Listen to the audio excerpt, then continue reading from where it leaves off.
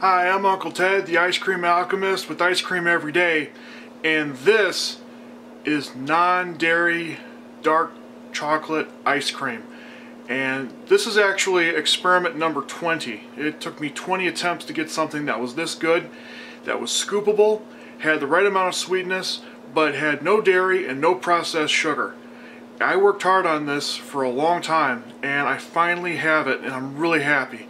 You know, I've got friends of mine who can't have dairy. Some of them, they can't have processed sugar. People I care about deeply and who will always be important to me. And they couldn't have my ice cream. So I went to work. It took a lot of experimentation. It took a lot of effort. But I think I finally got it. And there's something else I wanted to say here. I kept going on the thought of let's make non-dairy ice cream instead of thinking of it in terms of a frozen confection that didn't have dairy in it.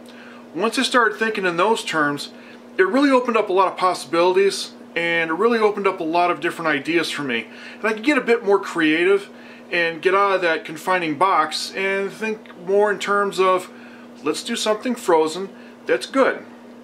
There's something about this that I really enjoyed. Number one, I didn't have to churn it. Really? Once it cooled in the refrigerator, it made a wonderful pudding. But even if I did freeze it, it didn't freeze into a block of ice, it became still scoopable. And that's important. You don't find a lot of non-dairy confections out there that are still scoopable. Usually what happens is they're kind of hard as a rock and you gotta chip at them a little bit and it's really not that great. This, this stuff here is scoopable. I'm really happy about how this turned out. It is non-dairy, there's no processed sugar, and it's scoopable. And yeah, it looks a little dark from all the dark cocoa I put into it, but I gotta tell you, it tastes amazing. This is probably one of the tastier concoctions I've come up with, just because you can taste the coconut, you can taste the dates, you can taste the cocoa, but it doesn't taste chemically. Yeah, it doesn't have that non-food taste to it. It actually tastes like real food. And that's important, especially when you're trying to avoid dairy and processed sugar. So this has a wonderful sweetness to it without being super sweet. And the dates really add this wonderful base to it. So you don't feel like it's missing something. And that's important. You're not missing out on anything. You, so hope you really enjoyed the video. And to the friends of mine who aren't able to have dairy or processed sugar, understand that I've always been thinking of you and I've been working to try and get something for you that you could actually enjoy. Thanks. So this is a quick shot of the ingredients. Obviously I left out the dark cocoa powder. My bad. But one thing I want to point out is make sure that you're using canned coconut milk and canned coconut cream. Don't buy the stuff in boxes because that's already been pre-sweetened and you really don't want it because it doesn't taste like coconut. It's just a pain in the neck. So use the stuff that comes in a can. It'll taste much better and you get much better results. Next we're going to go ahead and cut up our dates. I always assume that the dates are going to have pits in them just because the automated process usually ends up missing something. So I'm going to do this anyway, whether or not they're pitted or un unpitted. So doing it this way I, I can have better control and make sure no one loses any teeth. Plus, you know, this is uh, my way of making sure that things are in a more manageable shape. These dates were wonderful to work with. They had so much natural sweetness. There was actually some crystalline sugar on the outside of them, and they were very easy to pit. All I had to do was make a little slit in the top, get the pit out, and then I was ready to move on to the next one. They were very sticky and just wonderful dates. I got them on sale, and it was a great buy. Next, we chop them up into thirds and we put them in with our one can of coconut milk. Keep in mind that coconut milk is going to have some solids in it until it heats up to about 76 degrees. No problem. We want those solids that is just coconut fat and it is just a wonderful thing. It really adds some great flavor. So we need to heat that up and then we go ahead and just put in our chopped dates in there. Once all the dates are chopped up and the solids have heated up in the coconut milk, just go ahead and add the dates in there, stir it around a little bit, and then put the lid on. We're going to cook it for about 20 minutes on some low heat. Now remember, when you take the lid off to check on it, don't let that condensation go from the lid back into your pot. We're cooking that out on purpose. So take a paper towel, wipe off that lid, and you'll actually remove a lot of moisture. And that's just less moisture you have to deal with and less ice in the end.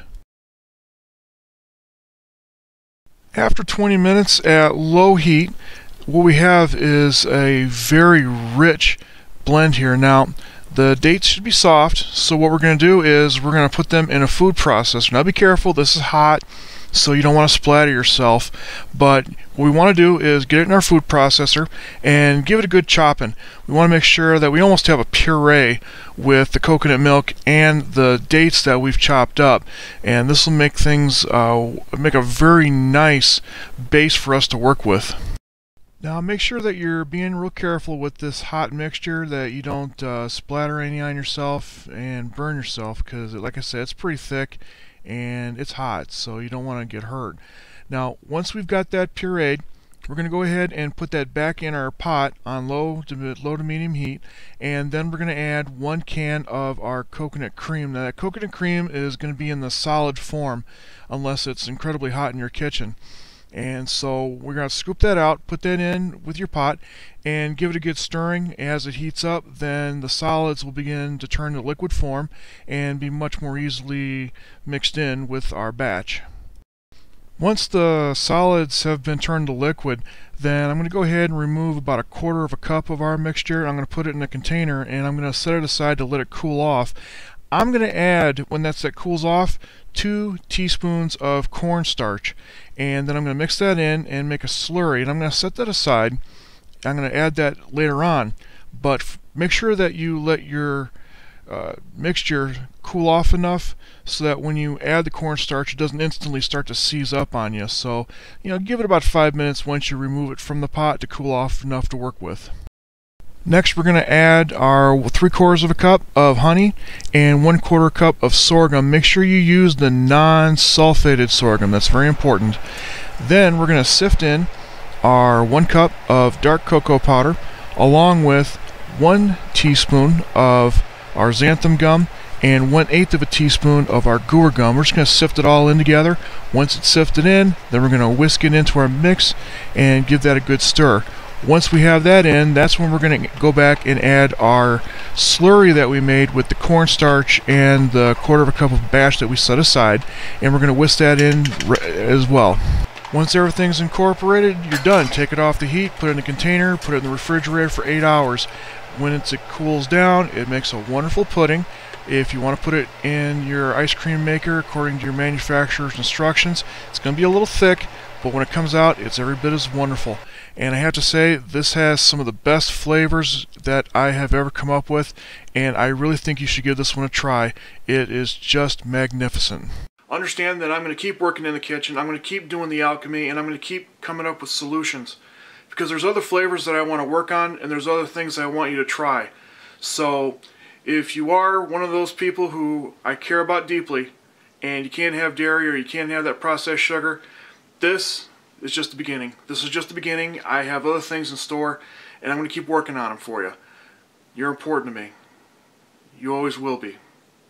And I'm not going to stop. At the end of the day, if you're not making things for the people you care about, then why make it? If you're not eating ice cream for breakfast, why bother being an adult? And as I always end my videos, may the love in our hearts forever be reflected in the bowl we hold in our hands. Thank you for watching.